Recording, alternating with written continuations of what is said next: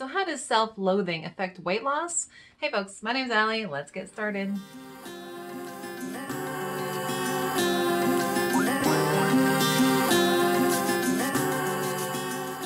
So I actually came to the realization that it is going to be my five year keto anniversary on the 13th of February. So that means I haven't had a freaking fruit in over five years.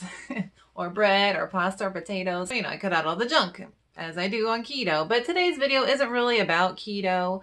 Um, it's really just about weight loss in general. And I'm just kind of going off of my own experiences and what I learned and what I remembered. Now, why should you listen to me? Well, I lost 170 pounds following a ketogenic or very, very low carb lifestyle in about two years, and I've been keeping it off for, geez, I guess almost three years now. So I think I know a little bit about weight loss, and if you struggle with weight, I hope that this video helps you.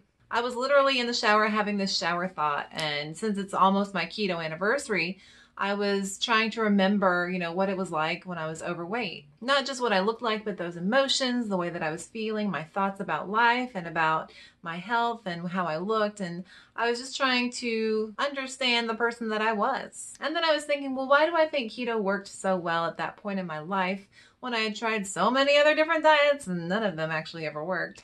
and I think that's because they weren't sustainable for me um, throughout my life. But I also think I wasn't at a place mentally to actually lose the weight. So I think a lot of people believe that weight loss is just about eating right and exercising more when that's half of it. It really is just half of it. And the other half is coming to a mental state where you're ready to make a change. And that's why I talk more than just about, you know, eating low carb and low carb recipes. I really try and tackle that other mental side of it, you know, all those head issues that we got going on, all of that baggage that we attach to our food addictions. And I really do try and help other people overcome that mental block when it comes to food and using food to soothe their souls in a way. And honestly, it's a little bit harder to teach about that because it's not just a list of rules. It's really, you have to understand yourself as a person.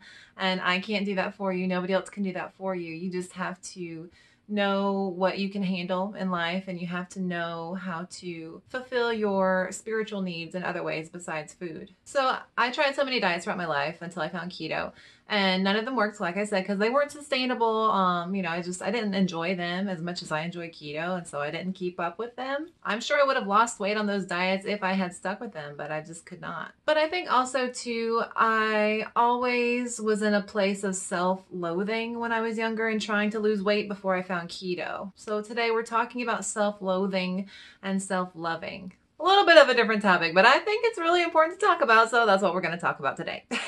I remember being an overweight, you know, kid, teenager, young adult, and I just hated myself, the way that I looked and the way that I felt. And I tried these kind of crash diets or these popular diets or just maybe even not eating, like fasting for several days at a time because I hated who I was. And honestly, I think the reason keto worked was because I was so excited about it. I was finally in a state of mind to trust myself to give it a real try because keto seemed so sustainable and it seemed like a real diet that I could actually follow for the long term. And so my headspace was in different places with all my other diets and with keto. I had a lot of self loathing. I hated who I was. It was almost like I was punishing myself by going on those crash diets by not eating. I remember in middle school, you know, I hated the way that I looked. And so I started just taking a tiny baggie with one serving of Doritos and a diet soda. And that was my lunch. And that's not healthy, right? That's, that's not good. But then the bus driver said, oh, you look like you're losing weight. And I was too ashamed to tell her, yeah, it's because I'm just eating, you know, 120 calories for lunch. And I don't know. It's just, yeah, it came out of self-loathing and I was hurting myself. I was doing that because I just hated who I was. I just wanted to be a different person, basically. So even though, yeah, when I started keto and I started living a sustainable, healthier lifestyle, I was trying to become a different person, but it came out of excitement. It came out of a state of just being committed to myself for once and trusting myself to take the plunge and try something totally different um, and to try and better my life. It came out of excitement, and that's what I think is so crucial for any weight loss diet that you choose to follow. It's um, it's definitely a big stage in losing weight. I have a whole video talking about the stages of a weight loss diet, and I think that that's pretty universal for all types of diets, not just keto. I really try and, you know, appeal to the masses with my videos. But definitely at some point, you really do need to be excited about weight loss, and you need to have that desire for it to happen and that motivation. So sustainability and motivation are such big keys. And I think that the sustainability comes in with the actual food or the weight loss program that you're actually following, the workout program you're following. That's the sustainability. But that motivation, that's the spiritual part that comes from in here.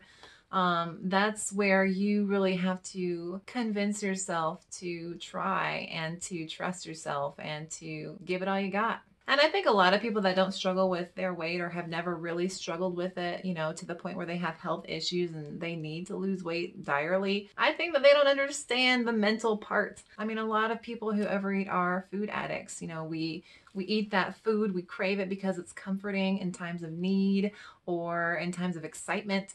I mean, it's just we have an emotional attachment to food. And so having that self-loathing having that I'm going to punish myself by not enjoying something, by not eating. It's just, it's one of the worst feelings, really. I mean, you really do hate yourself in that moment. So I do not think that anybody should really start a weight loss program from that self-loathing point because you don't want to be at that point, right? If you feel like you have to punish yourself by losing weight and doing something that you don't like because you're ashamed of yourself because you hate yourself, that's not going to set you up for sustainability and motivation later on. So again, you really do need to come to that point where you're excited to better yourself, excited to try something new and to make the changes that you want to see in your life.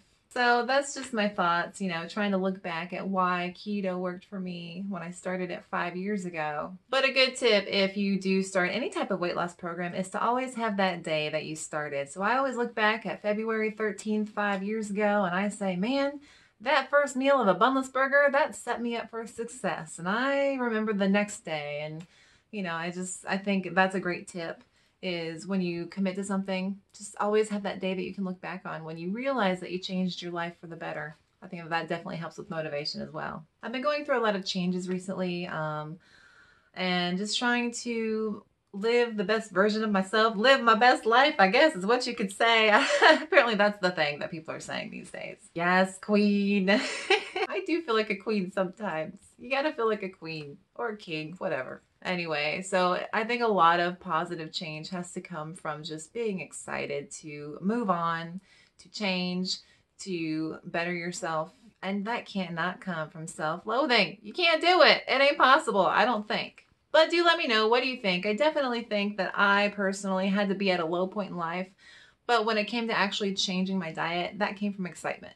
So um, it just depends. But I never really looked at keto as a way to punish myself for the way that I was. I never looked at it through a self-loathing lens. And if you are starting your weight loss journey, please, yes, try and be very positive about it.